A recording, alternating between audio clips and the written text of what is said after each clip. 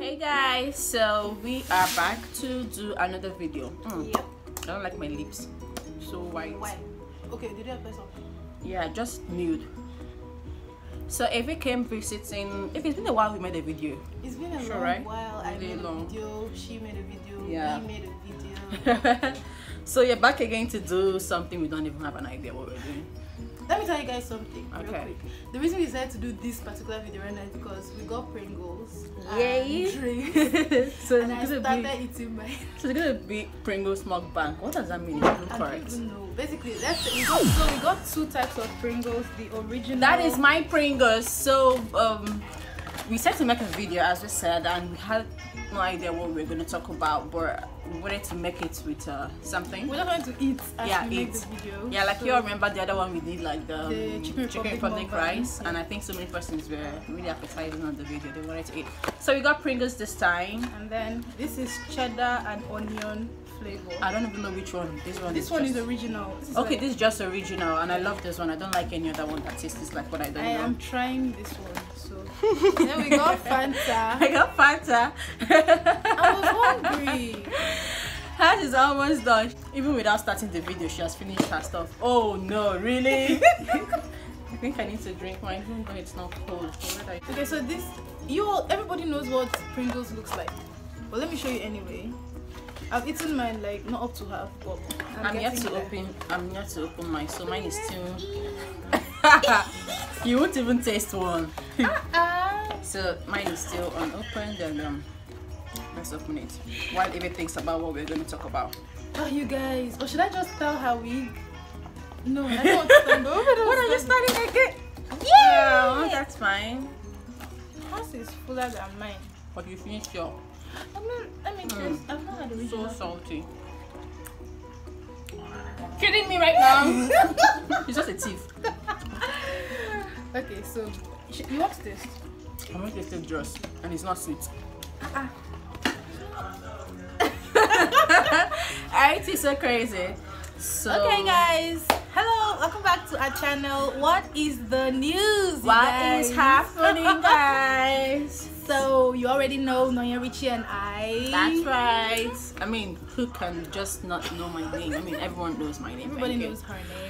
So, um, I told you guys we definitely did have anything to talk about, but then as we were eating our Pringles and our Fanta, I think an idea just clicked and We decided to do that. so.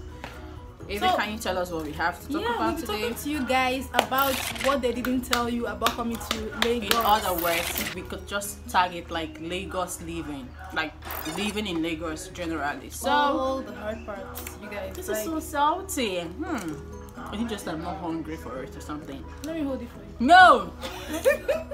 okay, you guys. So we'll be talking about what they did not tell you about coming to Lagos. Hashtag Lagos living. You know, everybody wants to come to Lagos, Lagos, but they don't yeah. really know what Everybody- is happening here. Yeah, everyone wants to come to Lagos, and Lagos people are encouraging you come to Lagos. Although they've actually started saying don't come Exactly, because some of them are still not crowded." leaving. Like some of them, they, they, they get scared of coming here. They, they're like, Lagos is somewhere I'm not coming. Like I cannot live in Lagos. I don't know how you guys, you know, um, Do it. Do it. But I mean, we've stayed in this place for almost up to a year, is it up to and we still even want to stay more after the I'll year. be here. I'll be here after service. That and means we are my mom is one of those people that says she can't even live in Lagos. Really? Like, it's so. It's actually really stressful. Like like Lagos is like heaven to my mom. Like she's always very proud to tell her friends, "Oh, my daughter is serving in Lagos, or she stays in Lagos." Because I don't know why, but Uh, Lagos is just like Lagos. mm. So, guys, we're gonna be telling you guys what they didn't tell you about Lagos by with a very few points of ours. we actually wrote stuff down. So Okay. We won't get mixed up. So the very first thing is accommodation. Oh my god, I think I have to leave this one for Eveh to just tell us because I think she has a whole lot of stories to tell us about that. Probably have- because it's it's not really complicated for me. So I came Oh, to Lagos. yeah. I'm um actually I stayed at the mainland because Lagos they have the island and the mainland for those of you that have stayed here.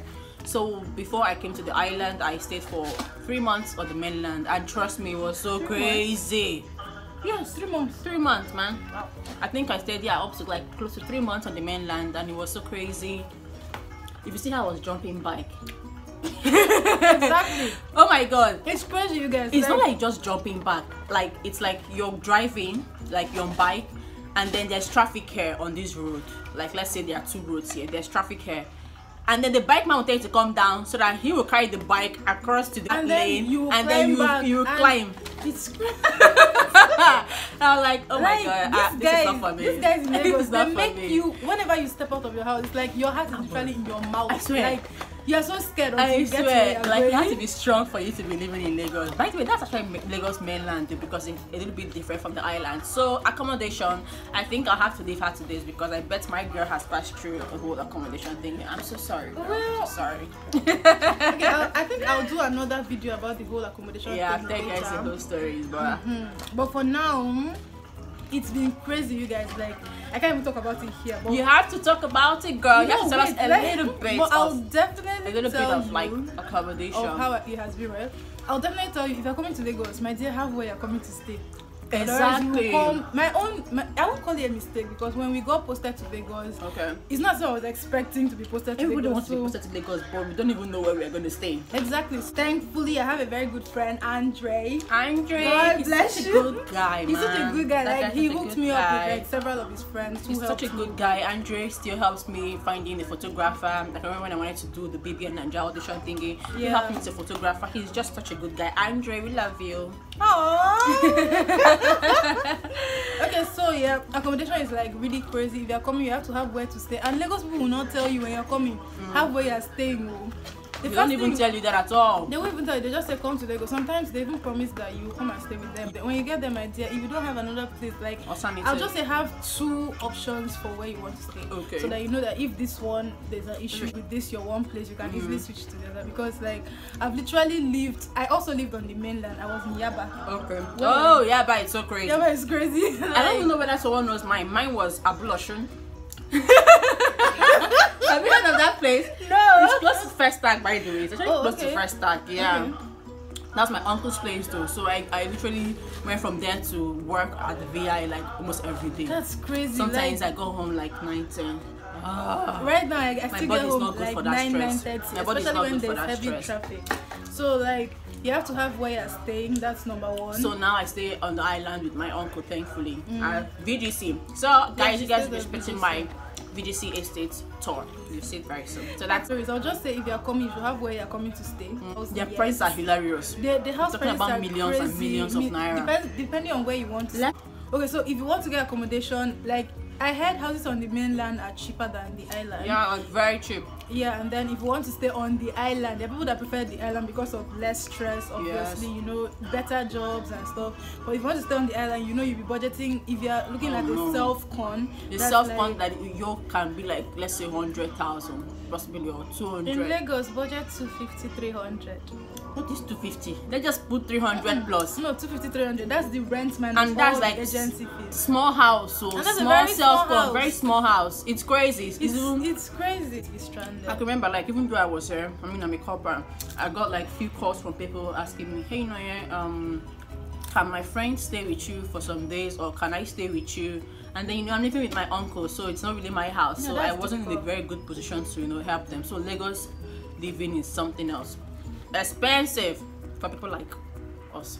For now, Okay. it's not. It's not like it's just For like now, just for now, just for now. Okay, then the next. Okay, next one we have- traffic. That would have been like the first thing we talked about. That would have been the first thing. Everybody knows Lagos and traffic. Everybody knows Lagos. No, but we don't have stress for when, traffic, I mm, when when you are coming to Lagos, they tell you about the traffic. We all know about the traffic. Okay, I think so. I think they do that. They do yeah. that, but then we think we still need to tell you guys what you guys don't know, or maybe they didn't When you're you in. Lagos traffic, they make you feel as if you should hold your heart in your hand so that you won't die. Especially if you jump bus like me. I don't know. Probably they should bring like plane or something. Any little stuff we could use on the air because the roads are no more. You can't pass the road. like the roads, it's the not roads accessible like, anymore. um, and then even the the roads, like there are roads and then there are parts where buses drive. I swear. I swear. And then Lagos is like really big, huge, like large. But even at as at that, there's still no road.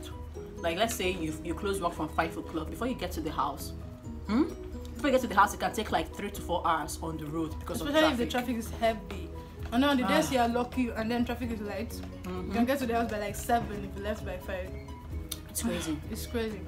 I So mean, that's I think that's why mostly people don't really like coming to Lagos come or they don't want to stay here because they can't traffic. deal. Yeah, I think I have friends that come visiting, and then when you ask them why, why you not staying in Lagos or why don't you want to stay in Lagos, they say they can't deal with the traffic because it's just something else. You see, people don't even stay in their house. They just stay in the house to just sleep. The situation where you go to work by uh is it eight or seven? Let's say seven o'clock. seven, You go to work by seven o'clock. You come back by ten. The next morning you're out again by seven. I mean, what time do they have if it's for married people? What time do they have for their for their kids and all? So And then some crazy. people's workplaces are actually far. Like she works in VI and oh, I stays in VI, VGC. VGC. Let's so, say if there's no traffic, you can get to VI from VGC in like 45 minutes. uh, let's then when 30 there's okay 30. Yeah. Okay. Because I try to do that like in the morning. I actually leave here 5:30 from VGC, and I drive to work by leaves by six o'clock. 5:30. That's crazy. That's like years ago. Like now, I go to work by 10 o'clock in the morning. this ask, and this, this fish is trying to be retained. This is how she ask her why she leaves for work so late. Today is Saturday, guys, and I didn't go to She's work. I mean, to be I, at I, work. I'm, I'm so sorry. I can't do that anymore, please. Girl, I don't know why it's. I'm so lazy. I can just just can't deal with working almost every day. I mean, that's why I understand. just Sha. want She, to get my she's stuff like for we are the kind of you know? people that that we we create our own schedule. You know, we work Oh. from home. Okay. So this whole service thing just made us work for other. Oh, com- and really? yeah, the experience is worth it, but still, something else, man. It is hell. is something Except you need to when experience you enter the yourself. as in when you enter the bus that there are no no win- no windows or anything. Ah. Oh, it was worse. and Just pray you don't there are have no to go. windows in the bus, but there's no AC. But talk about Uber. We didn't even talk about the fact that you want to order Uber or Taxify. Okay, wait. Let's even, let, no. Let's give you. Okay, if you don't want to jump bus, there's actually the option of Uber or Taxify. That's Everybody um, cabs that take you from place to place.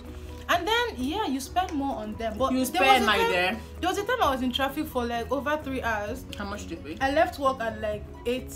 I left work by seven. Where to where? From where to where? From I work in Lekki Phase One, and then I stay in Badore. So that's far. If on a normal day with no traffic, you can get back and forth in like 45 minutes. Okay. So that day, I, I closed from work by seven, and then I stood outside. I couldn't find a bus to take me to because you take straight to Aja from Okay. Lekki. I couldn't find a bus. I stood outside that day till like for an hour. I stood for an hour. Then I, I just called. I just had to call Taxify. We were in traffic for like three hours. How much do you get The trip was the trip was, was I was thinking the trip would be up to 10k. I swear, I think sometimes it happens though. It happens, When you stay for a long time, you'll be surprised about how your, your bill But do you know comes how out. much? Guess the bill. Please tell me. the No, guess, bill. just I can't guess. even. I don't know. guess, guess, let me see. let's say um, let's say four. That should be like six, seven I k. pay what it. I was so shocked. Like, Oh my I, I, told, I told the cab driver. I hope the bill Are you sure be it's not wrong? I pay one thousand eight hundred. But do you know something?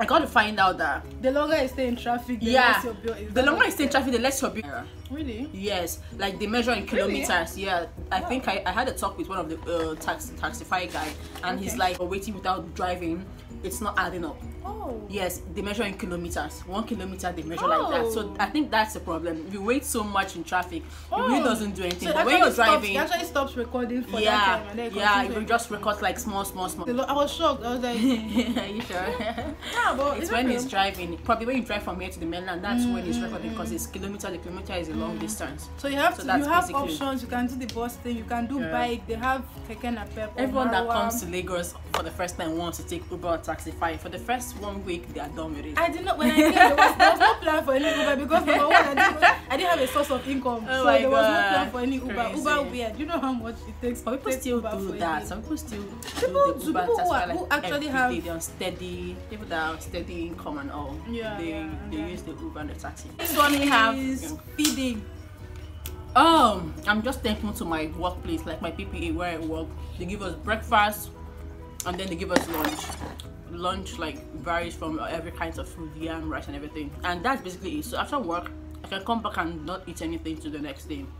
So that's actually what saves me because From spending so yes, much on from feeding, spending so much on feeding because feeding here and then on the island is hard. It's hard before you go and you see like a buka or you know that even around here the, re- the only restaurant you can see here or eating fast food is just Mega Chicken, which is just along this way. If you think about What it, there. Okay, yeah, let's just Okay, say so Chicken Chicken Republic and Republic Mega, and Chicken. Like in New York, you have so many this thing probably around, but here it's very difficult. And even though you go there to buy food, they're also expensive. Very expensive. Yeah, except if you're living on the mainland, though mainland you can walk from here to here and see places you can buy But food. they do have they do have um, places by the roadside where you can get food. The only on the island, disadvantage is there is their menu.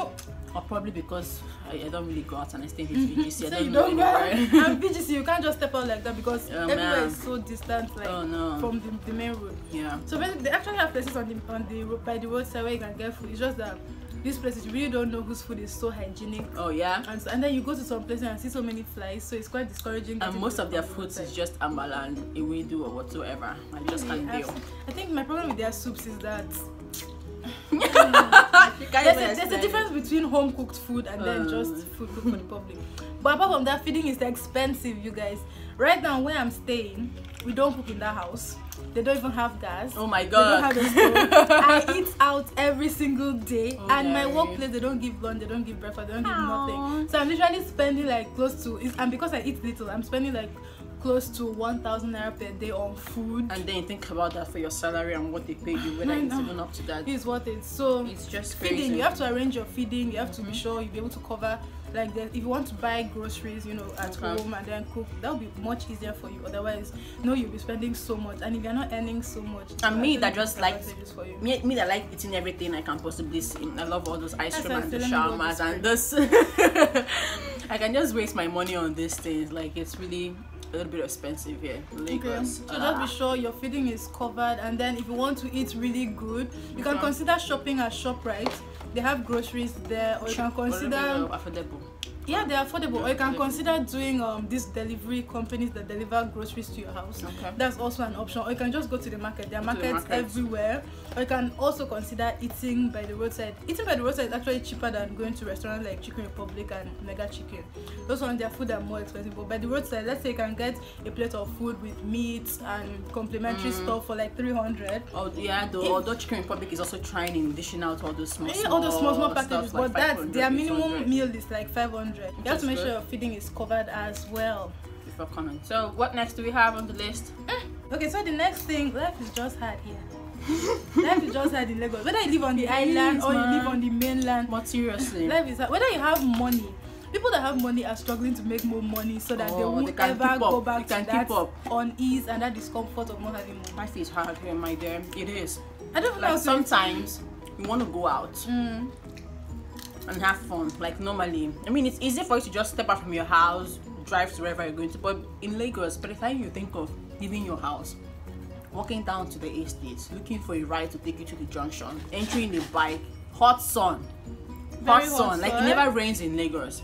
Like it never rains. it Like the hot sun. It rained last night. It rains like Did it rain here? yeah, it rained like like 10 Like, minutes, like once- 5 minutes. You once hear in a that blue yeah, once in moon. the, so by the time you're done thinking about all that, you just rest. Lagos is so stressful, man. It's So, so stressful. stressful. Then- I mean, I'm so thin. I remember when, when I was fat. You guys can remember that. yeah, thin? Did you yeah, I say am. thin? I am so thin now. Like I've already reduced. So you see, We did. Uh, give me your t-shirt. even Ave, you don't even need to work out in Lagos, man. You don't need to work out in Lagos. You don't need to hit the gym. Swear It's down. just you go you go down by You don't. so I think I'm not going managing. to expatiate on how hard life is in Lagos. Yeah. If you want to come to Lagos, please by all means, I'm not going to stop you. But I won't tell you not come. to come. I won't tell you to come. But if you want to come, please Just get ready. Like just be ready. Know that it won't be that easy, especially no. if you don't have everything set so many up. people so many people sleep under the bridge Ah. man so many people don't have places to stay like sometimes i walk i walk on the road and i see people sleeping on the streets people sleeping under the bridge and all that. The number, of, the number of people that are actually on the streets. can, Sometimes can, I feel can, like it's can, more than the number of people that are in houses. that's what i wanted to tell you.